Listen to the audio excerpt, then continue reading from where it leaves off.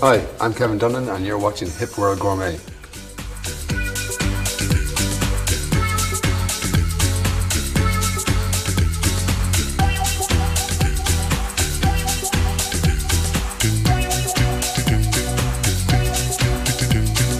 So welcome to Dunbrody, the sunny southeast part of Ireland. Over the next few weeks, you and I are going to be discovering some great recipes.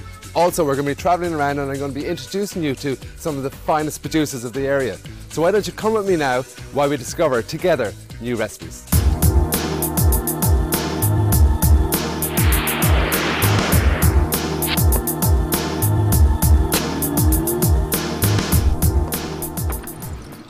So today I'm going to show you how to make an asparagus and saffron broth, which is absolutely amazing. I came across this recipe by accident. I was in the cookery course here and there was one, one student was allergic to cream and so I made this soup without cream, which is very unusual for me because I love my cream. And we're going to follow, follow by Wexford rack of lamb with an orange and passion fruit glaze over top. It's going to finish in the oven and we're going to serve it on a confit of cherry tomatoes and a bit of port wine jus and some pesto and we're going to finish with this amazing, dramatic, stunning dessert of a pastry cage filled, filled with summer berries, Grand Marnier ice cream, and finish with a sugar cage on top. We're going to start, start off by um, chop it up. Now you don't need to be too fussy about this, right? Now this is the secret how to, how to chop an onion. You get your knife and you, you go through, but you're not going all the way through to the back. You do that all the way across.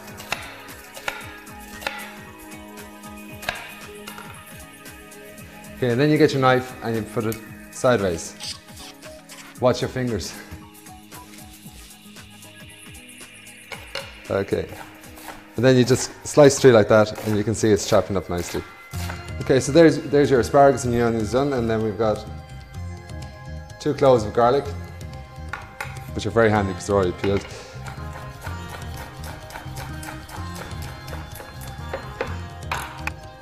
So there, there's the main ingredients, but we have one very special ingredient which I'm going to talk to you about in a minute. So we're going to start by little bit of vegetable oil. Not too much because you don't want to make the soup too greasy. Mix your ingredients into the pot.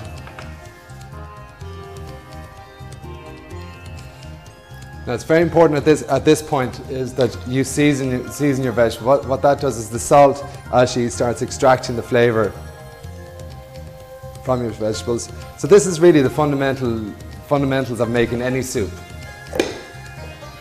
Sweat off your vegetables first. The colour looks fantastic. Okay. So I'm just using a, a, white wine, which is our house wine. It's a dry white wine.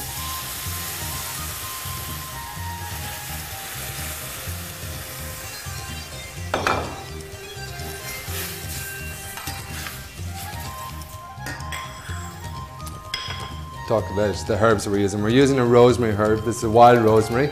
It's uh, you can really, really smell it. I remember it, it reminds me of being down in the Provence region of France and walking through the woodlands there and you can smell rosemary and thyme and stuff like that. And it's really bringing the earth back into the thing.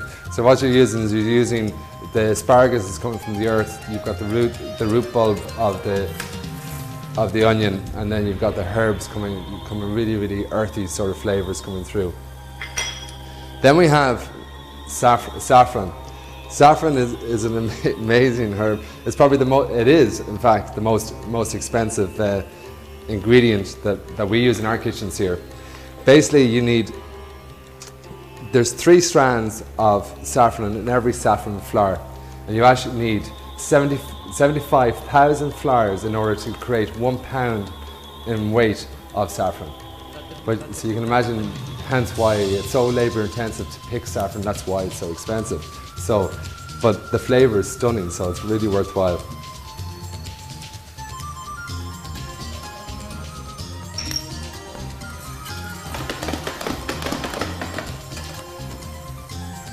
Just gonna add a little bit of water, because remember I was saying we're making a bit of stock.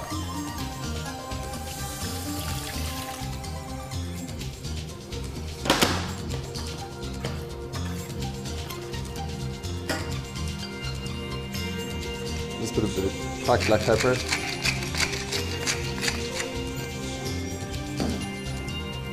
There we go. Now, I'm going to make a bunch of these asparagus and I'm actually going to tie them with a chive, fresh food. So basically you just drop your chive in just for a second because you just want to make it pliable so you can, so you can work on it.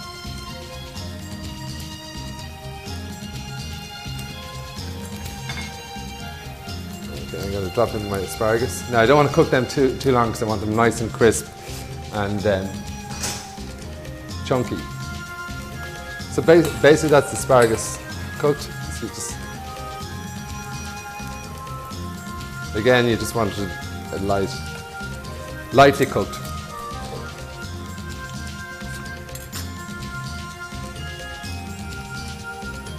Place like this, then you just tie it, tie it in that.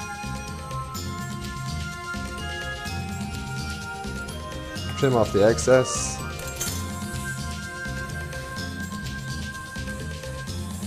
Try and get this to stand.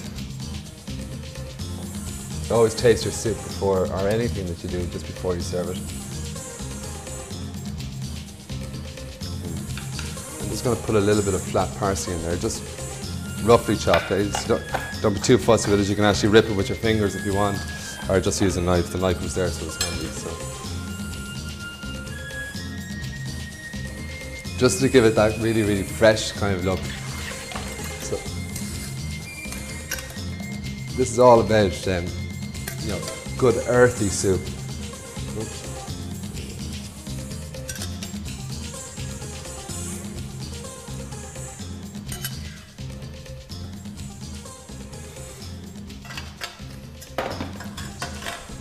There you have it, an amazing, healthy soup. Now, if you want to be a little bit devilish, you can put a little bit of cream in there. So you finish off the cream just at the end there, just before you put the soup in. Put a bit of cream in, and then put a few knobs of butter in, stir it in, and you've got this really, really rich, delicate, delicate soup. So enjoy.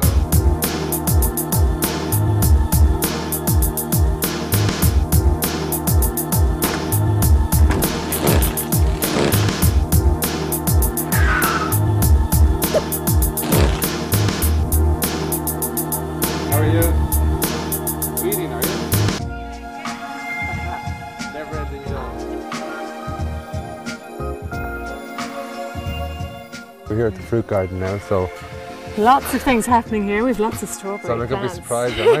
Let's well, and find if there's any left after um, birds and me and Mickey. And you? Well, I just tried Jeez, I one. thought I only had mean, rabbits that's, to worry that's the about. gardener's prerogative. You I thought I- have to taste. I thought I only had rabbits to worry about. I've got rosemary's to worry Rosemary about rabbit as well. oh, look, here we go. Oh, that's money. Okay, Waft okay. Away. Well, seeing as you haven't had any yet, is it okay? Oh, ah, yeah, excellent. Perfect. Mm. Good. I just see any Flavour is stunning. Yeah, so uh, this is their first year, so there won't be a fantastic amount of, of strawberries on it. But next year it'll be it'll be much improved. You know, it just it'll take them time to settle down. So um, yeah, it should be Let's good. watch another one. I see a few actually. Oh, don't worry, I'll come back later. These raspberries are great though, because they're autumn bliss. okay, they're gorgeous Yeah, flavour. they're, they're really, really big. Mm-hmm. And and then they start, we start getting fruit from July right through to the end of October. Oh, excellent. Yeah, and there's something about raspberries, the flavour of them. Raspberries and chocolate are All right. yeah. Okay. Let's try that. It's nearly as good as sex, but not quite. Okay, I'll try it and see. I'll give you my verdict. oh, will you? All right. That's great. And these are all our cherry trees, aren't they? Mm, mm-hmm. It a I tell you, years. you're doing a great job here. It's absolutely stunning. Thank you very much. I'm enjoying it actually. It's quite a challenge. But Well, why not? I mean, it's glorious. I know, and such a gorgeous place. It's just amazing, and the trees and everything. There's some black currants going Oh, on there. Yeah, you'll have great crop of those. So there you have our fruit garden, all organic, and it's absolutely excellent. And bearing in mind, it's our first year growing today, this year.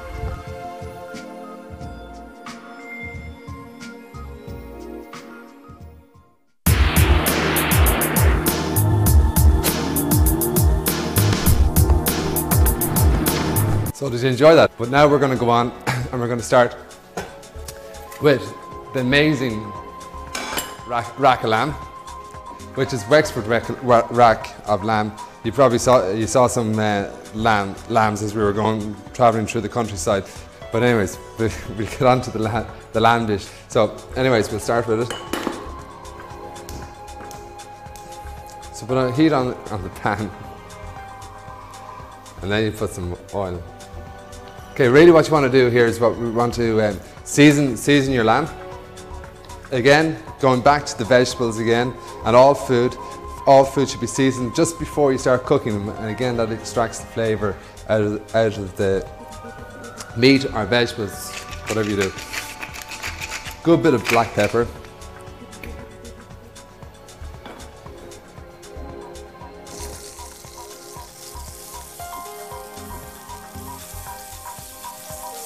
See that sealing there nice. The bones come in handy to hold on to the meat. Not you can use the tongs.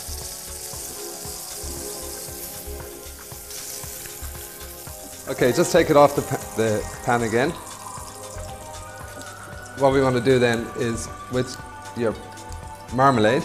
Now you can use ordinary orange marmalade if you want. Drizzle it over a bit of passion fruit. You can use blackcurrant jam, whatever you have in the larder. But this combination works really, really well. Just sprinkle the, the herbs there. You can already see, I mean, that looks nearly ready to eat. It's not quite. You wait till you see when it comes out of the oven.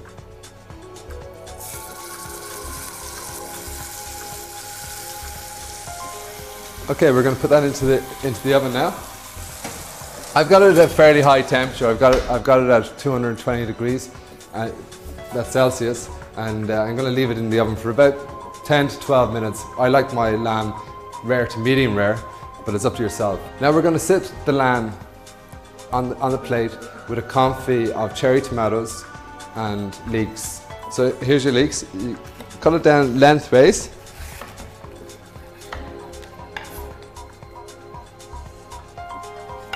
Okay, on an angle then. Always when you're when you're chopping, you see the way my, my fingers are there now? The, the nails are inside there, so when I go down, I'm not going to cut the top of my fingers off. We use nail clippers for that.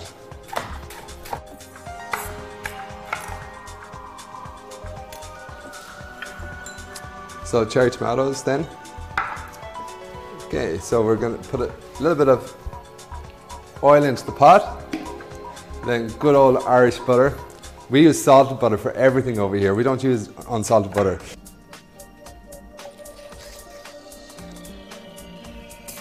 Now, I always put uh, a little bit of oil in with the butter, and what that what that does is it stops it from burning.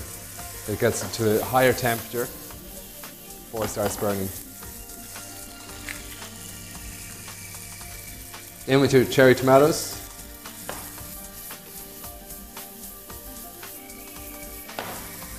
Again, very important with the salt and pepper.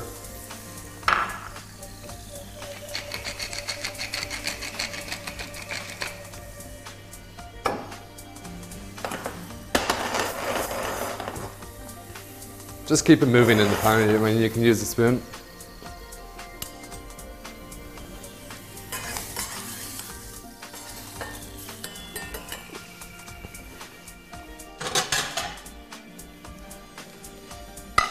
They look about just about right. I'd imagine that the lamb is just about ready. Let's check it.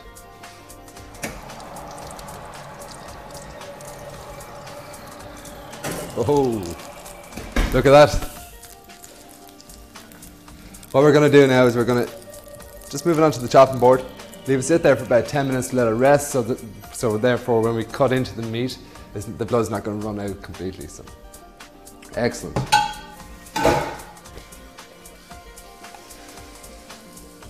Okay, I'm just going to heat up a little bit of um, juice or a bit of sauce. So basically then to, to plate up, you've got the, the confit of cherry tomatoes and the leeks you can see looks really, really good there. So you put that into the center of the plate.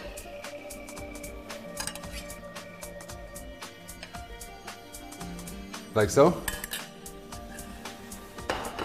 Best way to do cut a rack of lamb is you hold the bones like that. And you just cut in between the between the bones.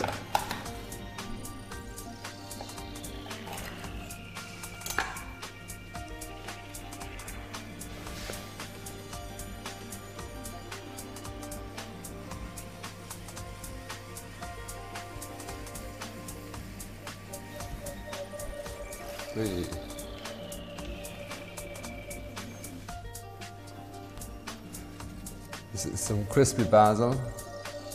That's, that's just basil leaves. Cooked, cooked in a little bit of oil until they go crispy. Again, the style of food that I do, it's full of textures. And I think textures are very important when you're eating because you're getting crunchy, you're getting smooth, you're getting juicy, and you're getting, and it's just really making your taste buds flow and experience different textures in your food. So a bit of pesto then, just drizzle around the plate. That's all, you don't need very much because don't forget, you don't want to compete with all the, all the flavors. Just a very small drizzle of this, just over the lamb, just to bring out the flavors. A little bit on the plate there. There you have it. An excellent rack of lamb with a orange and passion fruit and herb crust served on a confit of leeks and tomatoes, a little bit of pesto and finished off with a bit of port wine jus or red wine jus, whatever you've got. Listen, enjoy.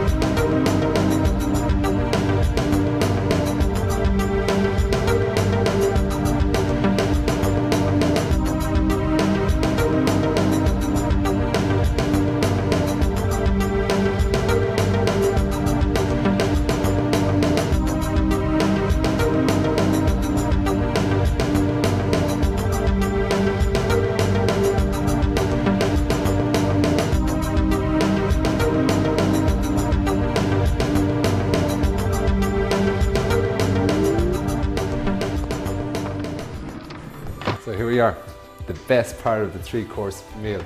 Through my eyes, this is a dramatic, stunning dessert. Just watch. So the first thing you want to do is get yourself a bowl and a whisk. And we're going to blend our cream, the butter and the sugar together.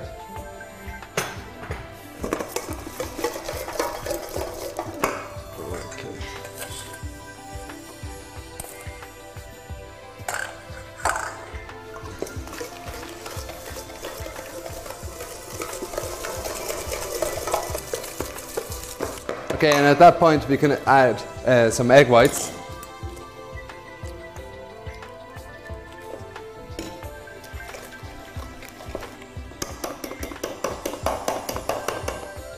Now you can use your mixing bowl as well if you if you want.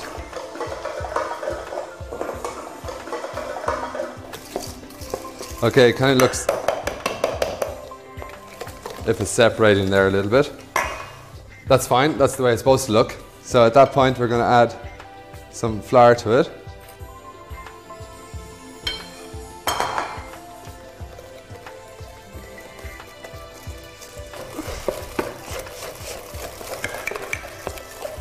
You can see it's starting to go into a paste. Alright. Then we're going to add a little bit of, of honey.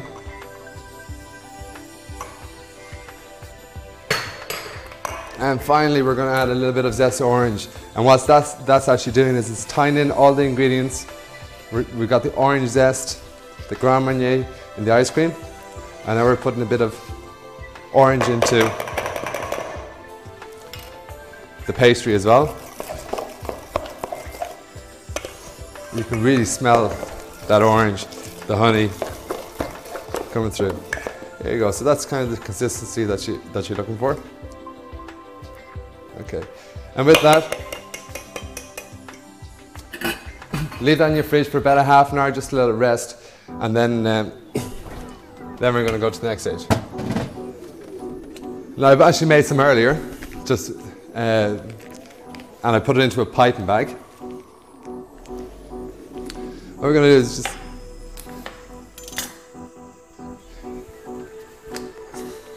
okay. This is um, a mat that goes into the oven. It's a flexible mat. It doesn't burn. It looks like plastic. But uh, if you don't have one of those, you can use silicone paper set on a, on a baking sheet to go into the oven.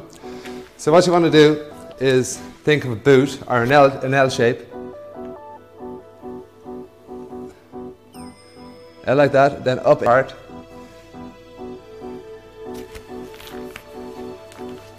Like so. We're going to put that into the oven for about, about five to six minutes. You'll see it going golden brown. and then we're then we're going to mold it. All right, so let's take this out of the oven. Now you need to work. You can see it's the way it's golden brown there. You need to work fairly fast on this, but it's, it's basically quite simple. Put your rolling pin on here, roll it roll it down like that. Basically, you're holding your hand then like that by pressing it in. So, like so. Got some whipped cream. Make a form at the bottom. And what that what's that's actually doing is it's actually holding your pastry in place. Then we're going to start building it up by adding some fruit that was marinated in that Grand Marnier. cream. Sit it on top, like so. Okay. Put a little bit of sugar sitting on top like that. And we're going to finish it off with some fruit compote. This fruit compote also has a bit of Grand Marnier, bringing back to all the flavors.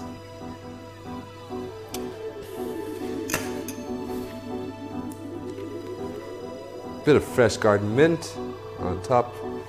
There you have it, a dramatic, stunning fruit, fresh fruit from the garden, fresh Grand Marnier ice cream that we made, nice biscuit.